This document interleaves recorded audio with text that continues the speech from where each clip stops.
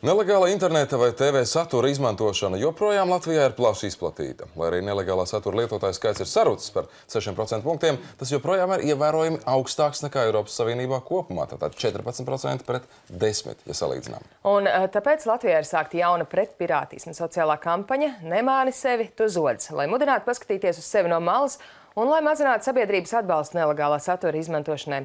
Biedrības par legālu saturu izpildu direktora Daca Kodzeva pašlaik ir mūsu studijā. Labrīt! Labrīt! Labrīt! Jau iepriekš esam runājuši par cīņu ar nelegālo televīzijas pakalpojumu sniedzējiem. Varat izskatīt, kādi šajā jomā ir jauni un progress, tā teikt, cīņā?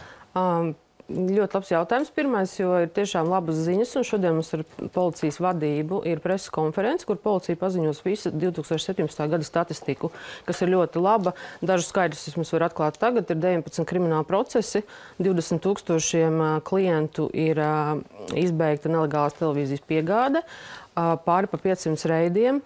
Tā kā tā ir bijusi policijas 17. gada prioritāte. Es ceru, ka viņi tikpat aktīvi turpinās, jo mums biedrība arī tāds kopīgs uzstādījums. Līdz šī gada beigām mēs varētu vēl par 30% samazināt nelegālo tirgu un tad nosvinēt Latvijas simtgadi ar mazāku pirātismu apjomu un nokāpt no šī goda piedestāla.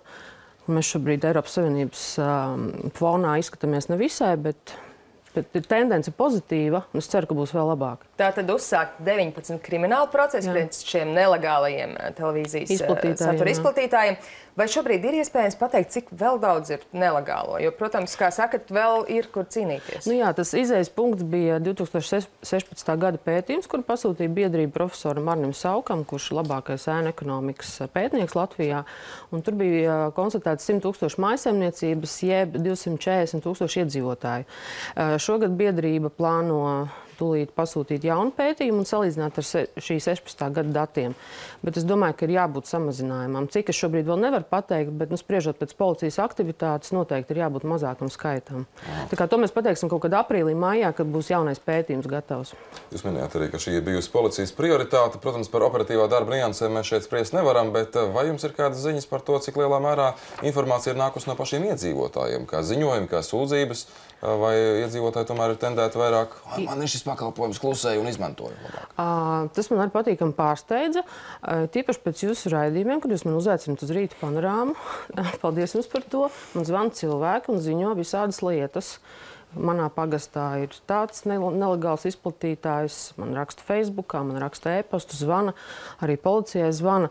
Tas priecē, tas, manuprāt, to sabiedrības apziņotības līmeni mazliet ceļ. Un, Un, jā, ir, ir arī iedzīvotāji aktīvi.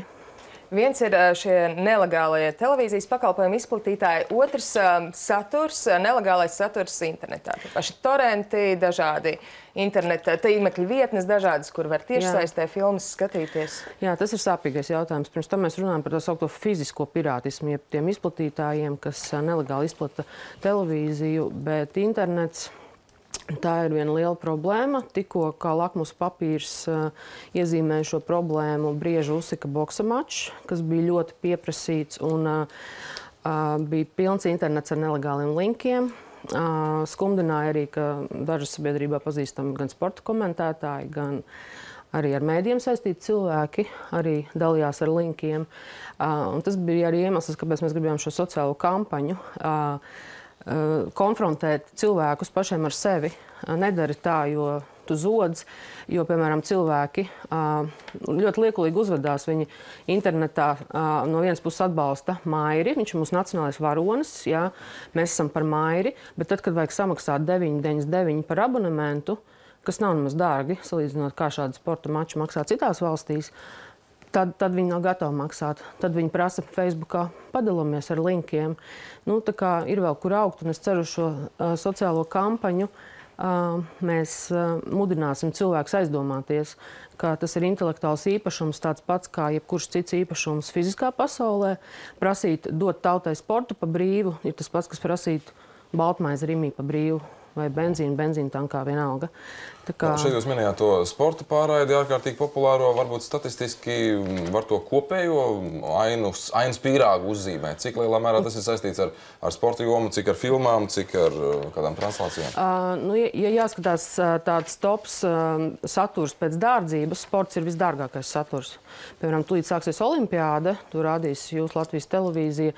Es nezinu, cik samaksā Latvijas televīzija, bet es zinu, ka um, Eirosportam Startautiskā olimpiskā komiteja pārdeva tiesības par 1 miljardu eiro. Tās ir milzīgas summas, ja, ar 9 nulēm. Otrajā vietā ir filmas un seriāli pēc dārdzības, un tad nāk pārējie televīzijas kanāli. Un, uh, Jā, kā ar to, ka nu, vienu reizi nu, māja ir brīvs cīņa, tikai pēc tam jau nē.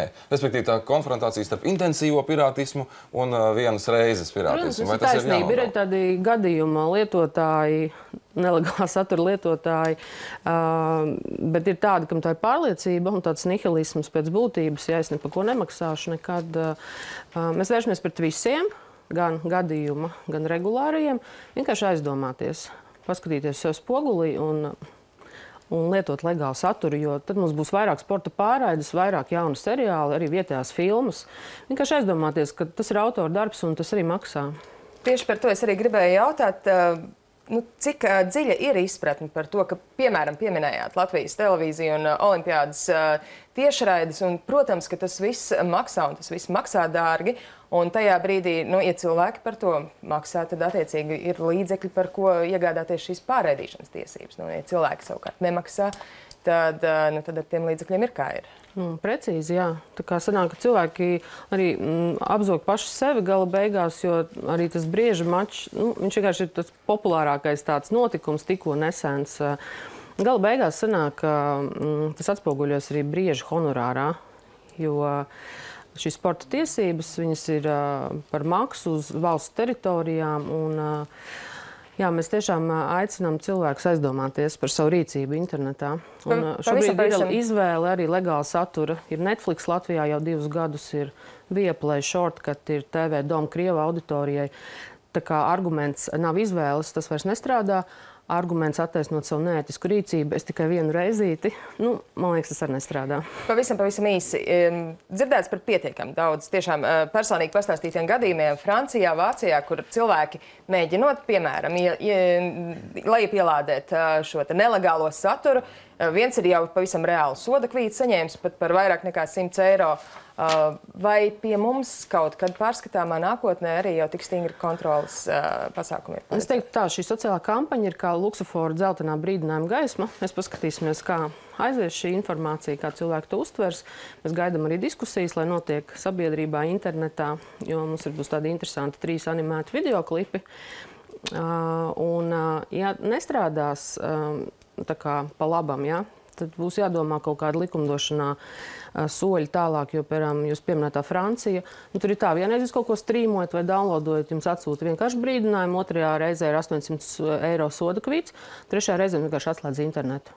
Strādā perfekti, cilvēki saprot no trīs reizēm.